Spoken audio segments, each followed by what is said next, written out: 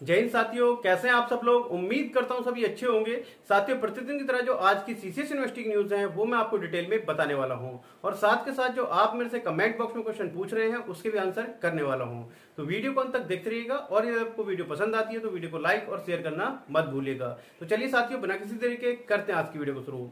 तो साथियों, सबसे पहले जो बच्चे कल सीबीएसई बोर्ड में उत्तीर्ण हुए हैं 99.37 परसेंट बच्चे उत्तीर्ण हुए हैं तो उन सभी बच्चों को सक्षम एजुकेशन परिवार की तरफ़ से बहुत बहुत शुभकामनाएँ। वो अपने जीवन में जो भी लक्ष्य वो चाहते हैं, उसको वो हासिल करें। ऐसी हम ईश्वर से प्रार्थना करते हैं।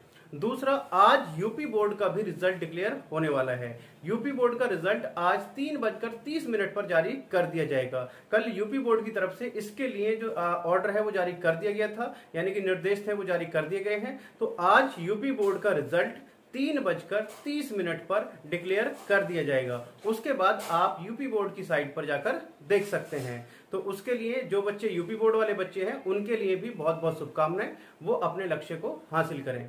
और साथ के साथ साथियों, एक इन्फॉर्मेशन मैं आपको और शेयर कर देता हूँ। हर साल सक्षम एजुकेशन फाउंडेशन जो बच्चे अच्छे नंबर से उत्तीर्ण होते हैं, उन बच्चों के लिए हर साल अवार्ड फ़ंक्शन ऑर्गेनाइज करता है और उसके साथ साथ उनको छात्रवृत्ति शुल्क भी दिया जाता है। तो इस वर्ष भी आपका वो प्रोग्राम आयोजित किया जाएगा। तो जैसे ही उसकी रूपरेखा होगी, वो आपको बता दी जाएगी।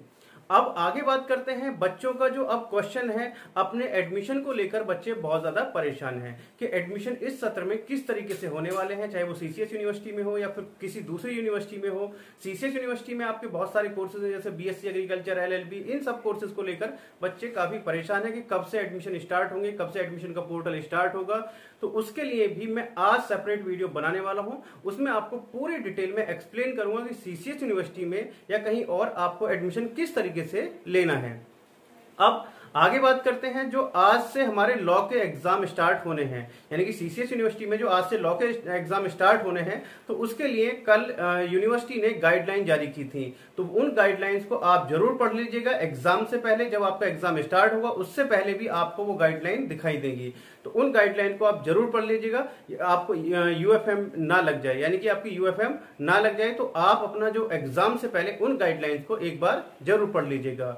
अब आगे बात करते हैं जो हमारा यूपी बीएड का एंट्रेंस एग्ज़ाम होना है 6 अगस्त को।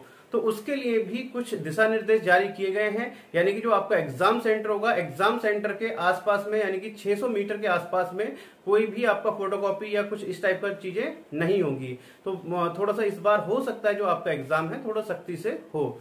तो यूपी बी एंट्रेंस एग्ज़ाम के लिए भी आपको तैयार रहना है प्रिपेयर रहना है। उसके लिए क्या क्या गाइडलाइन है तो उसके लिए भी एक मैं सेपरेट वीडियो बना देता हूँ कि आपको एग्ज़ाम के लिए क्या क्या चीज़ें लेके जानी है क्या क्या चीज़ें आपके पास होनी चाहिए। तो साथियों ऑलमोस्ट मैंने सब सारी चीज़ें आपको क्लियर कर दी हैं। यदि अभी भी आपको कोई डाउट या क्वेश्चन रह गया है तो आप मेरे से कमेंट बॉक्स में पूछ सकते हैं। मैं जितने जल्द से जल्द होगा, उसका आंसर इस पर वीडियो बनाने की पूरी कोशिश करूँगा। तो चलिए साथियों, मिलते हैं आपसे।